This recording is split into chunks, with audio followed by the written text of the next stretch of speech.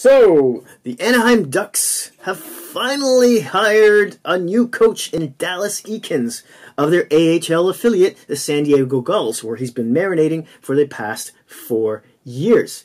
Now, Eakins had a 154, 95, and 23 record with that team, and he um, he knows, obviously, he knows their AHL affiliate inside out. Um, he uh, he went through the motions with Sam Steele, Max Jones, Troy Terry, and Kiefer Sherwood, players who are um, young players are coming up uh, into the Anaheim Ducks at the moment, and he also oversaw the careers of players like Brandon Montour, Shea Theodore, and Nick Ritchie. So uh, he is also known as, as a strategist, good communicator, good with young players. So this should be a good fit, um, kind of in the same uh, path as you might say as Jon Cooper um, of the Tampa Bay Lightning or Jeff Blashill of the Detroit Red Wings coming out of the AHL affiliates.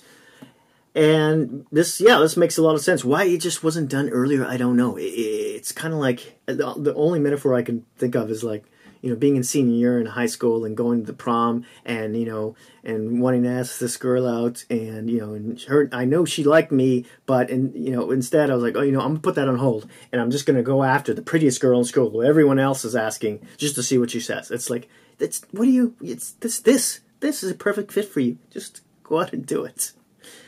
And so finally, they get it done. Now, um, Dallas Eakins, I'll talk to you quickly about his little history here. He's 52 years old. He's actually from Dade City, Florida, interestingly enough. Um, he's just over six foot, and he played in the NHL. Um, he played everywhere, really, for a number of years. Um, he played in the OHL, the AHL, the IHL, the NHL, any HL you can think of, he played in it. Now, of course, he started off with the Peterborough Petes of the OHL for four years there went to the AHL, um, Baltimore, Moncton, and his first NHL gig was with the Winnipeg Jets in uh, what year? 92, 93. And then he was kind of like that um, Johnny Cash song, I've been everywhere, man. That's I won't put you through any more of my singing. I'm sorry. I'm sorry. Uh, he then went to the Florida Panthers um, quite a few times, actually. The Blues, he bounced around, back to the Jets, Coyotes, Rangers, Panthers again.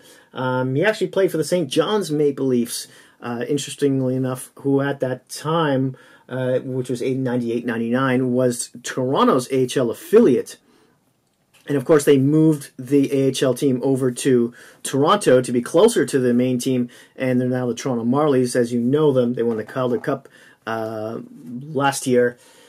And um, now that St. John team has been replaced by uh, Toronto's former ECHL affiliate, who used to be the Solar or the Orlando Solar Bears down in Florida, um, by the the first and only Canadian ECHL team, the Growlers, who actually just won the Kelly Kelly Cup.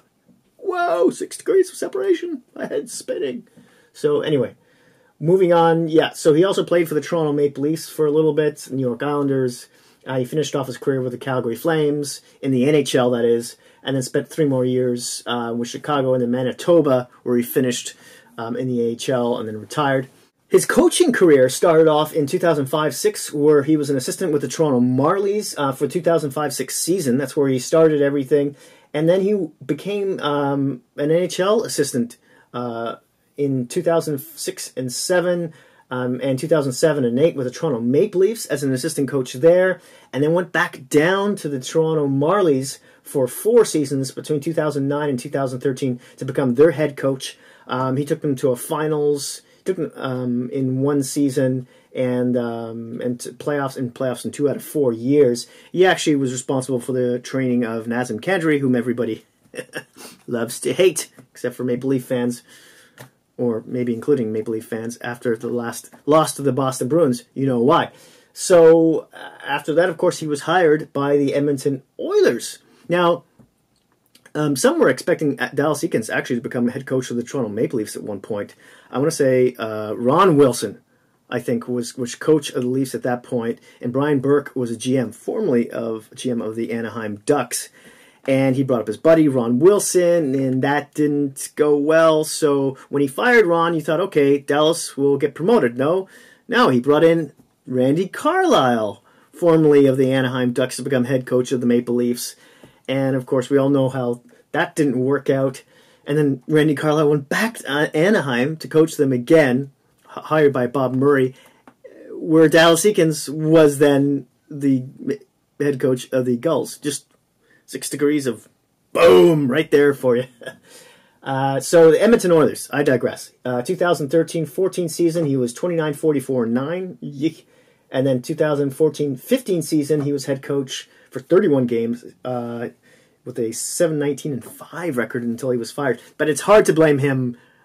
You're even Ralph Krueger. That was part of that whole time period of dysfunction junction at Edmonton Oilers, where I'm not even totally convinced they're out of it yet. But you, it's hard to blame any of those, you know, um, Ferris wheel coaches at that time for what happened there. And Krueger and Krueger and Eakins literally had to leave the league. Krueger had to leave the continent for five years before he could come back in the NHL. And now, of course, being the head coach of the Buffalo Sabres, Dallas Eakins uh, had to leave the NHL, go and go coach for the San Diego Gulls, where he was for four seasons from 2015 to 2019 um, season. And uh, and yeah, and there you have it. And he finally gets another chance. He's known as a strategist. He's known as a communicator, um, a forward thinker. I think this is a really good fit for Anaheim. Of course, they're turning over the roster right now. Corey Perry could be bought out any minute, really. And I, I pretty much will think the fan base know they're they're in the middle of rebuild. Now Anaheim is in a typical hockey market. How their attendance in the arena is going to take that you know, over two, maybe three years at least. I mean, they have some up and coming players, but they got to be patient. They got to take a little more time. Anaheim fans, especially, I would love to hear what you think of this coaching hire. Was there someone else you had in mind? Where do you see the Ducks next season, or even beyond that? Um, when you you know, I don't see them making the playoffs for at least at least a couple seasons until they you know turn things over. Thank you so much uh, for watching. Hit like if you like this video. Smash that subscribe button if you haven't already. And hey, if you happen to have any Hockey Geek friends, please don't feel shy about sharing. Thanks again, and I'll see you soon.